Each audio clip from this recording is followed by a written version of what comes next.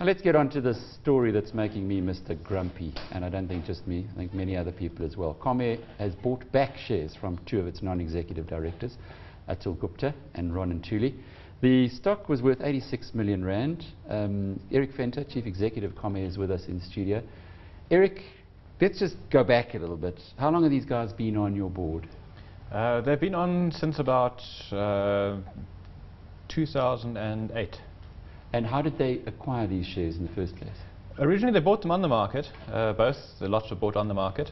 Um, Ronnie Ntuli is involved in our B empowerment deal. These aren't these shares are not linked to the empowerment deal. These they bought in addition to the deal that we did.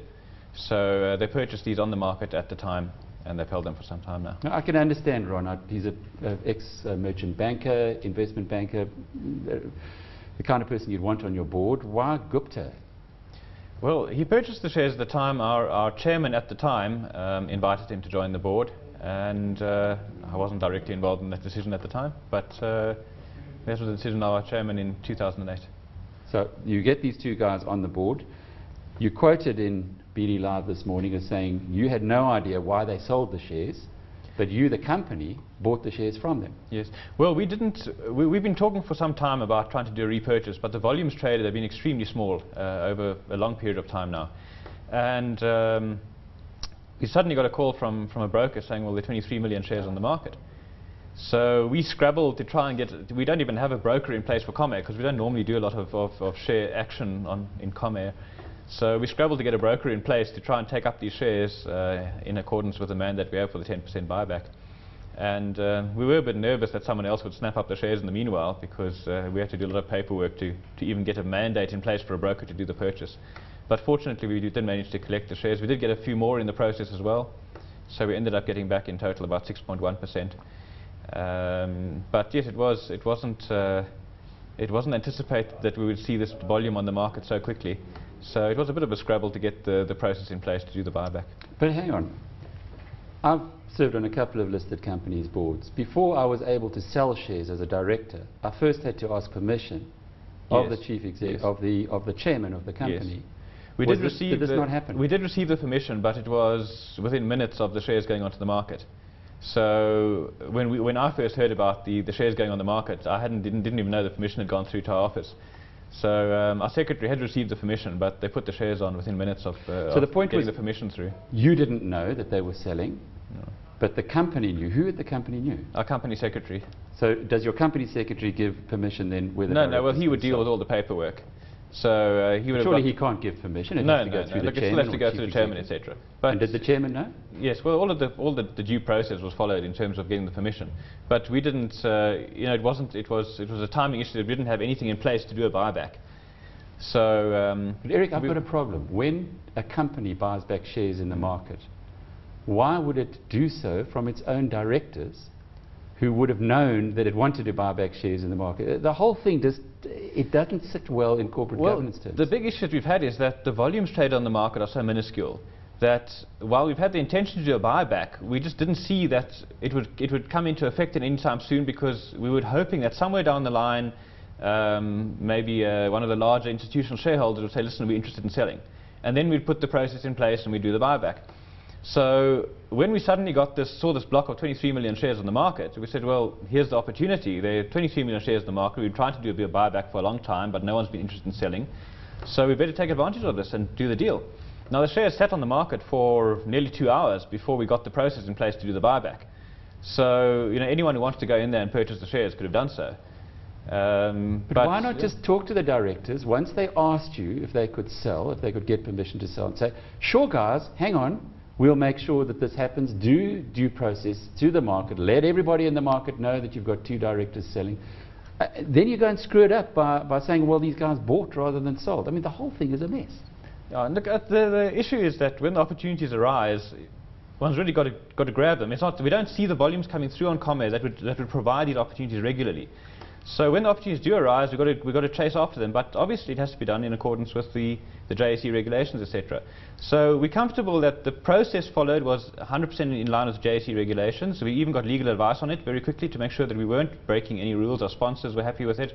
Uh, yes, there was an error that was done in terms of the announcement that was, that was completed on a, on a, on a, uh, a purchase template instead of a sale template. Um, but the process is 100% within JSE regulations. It was an open trade on the market. Um, you could see from the timing that it wasn't, we didn't have our ducks in a row to take advantage of the buyback immediately. So yes, it did take a little while for us to get to get the process in place to do the buyback. Um, but yes, we don't see those opportunities coming around very often in terms of that kind of volume on the market for Comair. So we could have turned around and said, well, you know, let's put it aside and try and do it sometime in the future and hope to find those volumes again. But for the last uh, three, four years now, we haven't seen big movements in shareholding in the, in the company. We've got a very static, uh, very stable shareholder base. Um, so it's not as if we could simply re-implement a buyback in a few months' time and hope to get another a reasonable volume again. Just on the directorships of both Mr. Ron Ntuli as well as Atul Gupta, will they still be uh, directors at the company? Well, that's a separate matter altogether. You know, it's not it's not uh, directly linked to the shareholding, so we'll have to see what what happens going forward on the directorships. And corrective action against maybe the JSE or RMB, will any of that be taken given the fact that they published incorrect information? Now, look, we apologise to the JSE. The fault, uh, we've spoken to RMB, the fault in terms of the uh, SENS announcement, uh, strictly speaking, was our fault, not RMB's fault. We've followed up with that. I think uh, that some of the journalists got a bit carried away in terms of sensationalising the whole process.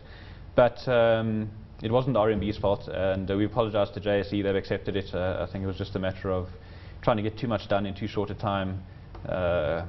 Like I said, we, we weren't anticipating that we would see this many shares coming up for sale so quickly. You're being very hard on my colleague, whoever he might be, the journalist who did that, because lots of people follow director dealings, and if you see uh, big purchases of shares, there are probably a few guys feeling very sore this morning uh, that they bought shares on the strength of coattailing on an Atul Gupta and, uh, and a Ron Ntuli. But the question really that, that remains is that a year ago, your share price was about a third of where it is today. Yes. Why didn't you go in and try and buy shares at that stage? Why wait until it's gone from the early run rands to I think the, the problem is always that um, you've really got to get the rest of the board on board.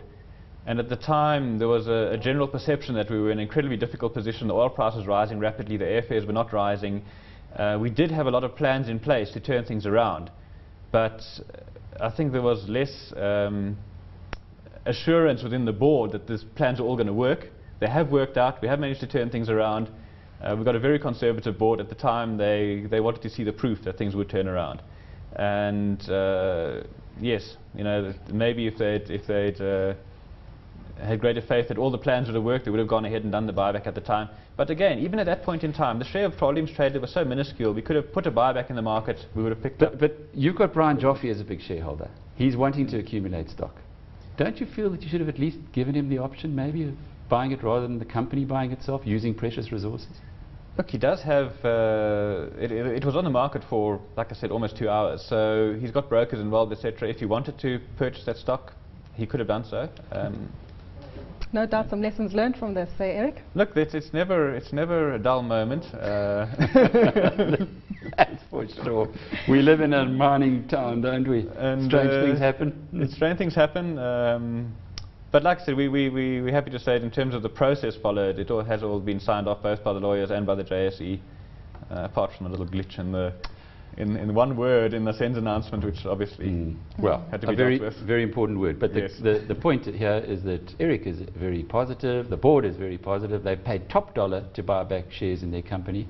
Mr. Gupta's got more money in his back pocket, and I guess other shareholders in Comair should be happy.